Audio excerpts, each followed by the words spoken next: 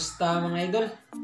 Uh, it's Perems again at welcome back to my channel. At kung bago ka sa aking channel, please like, uh, comment, subscribe, and hit the notification bell para always kang updated sa mga panibago kong in-upload. Uh, for today's video mga idol, uh, ako po ay mag-share uh, ng aking kunting nalaman pero uh, sobrang napaka-importante at napaka-useful nito isi-share ko po ko lang po mga idol ay ah, nakikita nyo to. Ah, ito po ay software. Yan. Software or soap stranded wire Ah, itong isa naman po ay ah, solid wire or hard wire ang ituturo ko lang mga idol ay ah, kung paano ah, ito idug paano ito idugtong tsaka ano ang tamang connection. Ah, kasi mga idol, ah, sa pag ah, dudugtong o pagkukunik ng mga ganito, ng software at tsaka solid wire, ay hindi dapat basta-basta lang. Kasi kapag binasta-basta mo, ah, may posibilidad na ah, mag-loosen or mag-lose connection. Ah, lalo na in electrical mga idol. Mahalaga ito sa electrical. Ah, halimbawa, ganito mga idol. Sample natin. Tingnan nyo mga idol ha. Tingnan nyo. Tingnan nyo.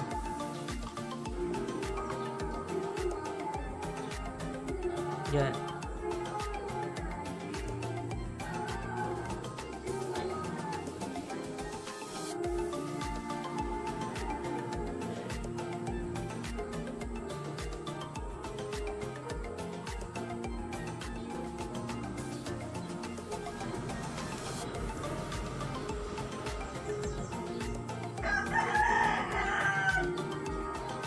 Ayan, na na ano ko na siya. Tawag nito na nagugtong ko na. Ah, hilahin ko mga idol. Oh. Yun mga idol ay mali. Kasi ah, nahila siya kasi walang tibay na sinasabi. At kaya dapat mga idol kapag nagdugdug dudugtong ka o nagkukunik ka ng mga ganito, yung solid wire tsaka soft wire, ah, dapat ah, may tibay siya. Para halimbawa ma- mahi- mahila siya, ah, hindi siya basta-basta matanggal. Ah, ito po yung tamang pagdugtong ng soft wire at tsaka solid wire. Tingnan niyo mga idol ha. Pakita ko ng maayos. Yan, ganituhin niyo mga idol. Tsaka i-lupit nyo ng ganito. Yan.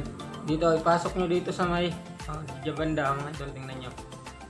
Tsaka, sabihin, ayan. Yan mga idol ah.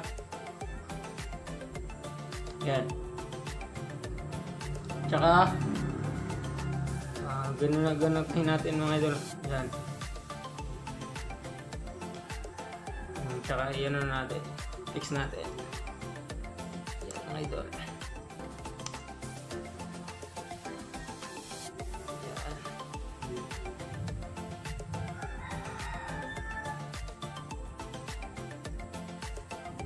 Ito po yung tama. Sobrang dali lang mga idol. Yan. Try natin. Ah, yan na mga idol. Try natin nilahin kung mahila pa. Hindi na yan mahila mga idol kasi ah, may tibay na siya. May lock siya. Yan. Hindi na yan matanggal-tanggal mga idol.